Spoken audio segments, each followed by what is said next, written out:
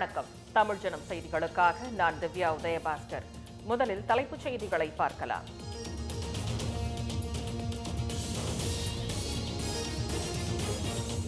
தன்னை குறிவைத்து அரசியல் சூழ்ச்சி நடப்பதாக நயினார் நாகேந்திரன் குற்றச்சாட்டு.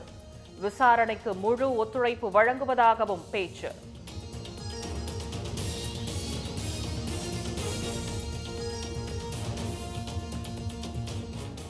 சென்னையில் உடல் பருமன் சிகிச்சையால் இளைஞர் மாரடைப்பால் உயிரிழந்த விவகாரம்.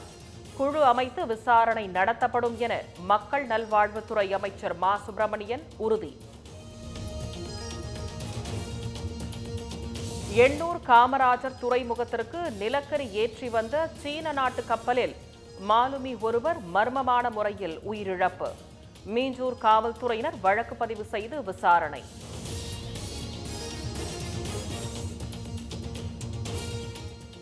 கேரளாவிலிருந்து தமிழக எல்லைக்குள் மீன் கழிவுகளை கொட்ட முயன்ற லாரியை நாம் தமிழர் கட்சியினர் மடக்கி பிடித்து வாக்குவாதம். லாரி உரிமையாளருக்கு ஒரு லட்சம் ரூபாய் அபராதம் விதித்து குழித்துறை நகராட்சி நிர்வாகம் நடவடிக்கை. கேரளா கர்நாடகா உள்ளிட்ட பதிமூன்று மாநிலங்களில் நாளை நடைபெறுகிறது இரண்டாம் கட்ட மக்களவைத் தேர்தல். வாக்குப்பதிவு ஏற்பாடுகள் தீவிரம். காங்கிரஸ் கட்சியின் செய்தி விளம்பரங்கள் குறித்து தேர்தல் ஆணையத்திடம் பாஜக புகார். மக்களை திசை திருப்பும் வகையில் தவறான தகவல்களை வெளியிடுவதாக குற்றச்சாட்டு. சென்னையில் அம்பத்தூர் அண்ணாநகர் உள்ளிட்ட ஏழு மண்டலங்களில் குடிநீர் விநியோகம் நிறுத்தம். பராமரிப்பு பணிகள் மேற்கொள்ளப்படுவதாக அறிவிப்பு. சென்னை விமான நிலையத்தில் ஐம்பது கோடி ரூபாய் மதிப்பிலான போதைப் பொருள் பறிமுதல். ராஜஸ்தான் மாநில இளைஞரை கைது செய்து மத்திய வருவாய் புலனாய்வு அதிகாரிகள் விசாரணை.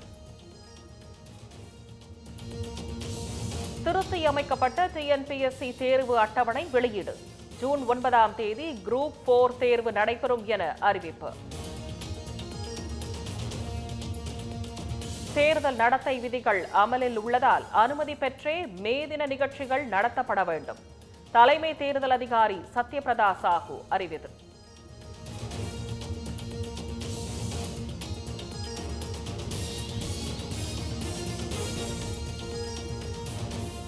உலக செஸ் சாம்பியன்ஷிப் போட்டியில் நிச்சயம் பட்டம் பெறுவேன் என இளம் வீரர் குகேஷ் நம்பிக்கை.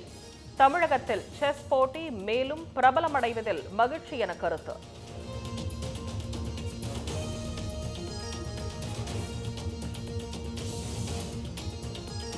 ஐபிஎல் கிரிக்கெட் தொடரின் நாற்பத்தி ஓராவது லீக் போட்டி. பெங்களூரு ஹைதராபாத் அணிகள் இன்று மோதல்.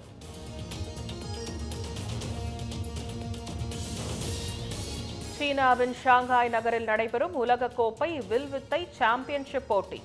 இந்திய ஆடவர் மற்றும் மகளிர் அணி இறுதி சுற்றுக்கு முன்னேறி அசத்தல். இந்தியாவின் மகத்தான முன்னேற்றத்திற்கு சொந்தக்காரர் பிரதமர் நரேந்திர மோடி. அமெரிக்காவின் ஜேபி மார்கன் நிறுவனத்தின் தலைமை செயல் அதிகாரி புகழாரம்.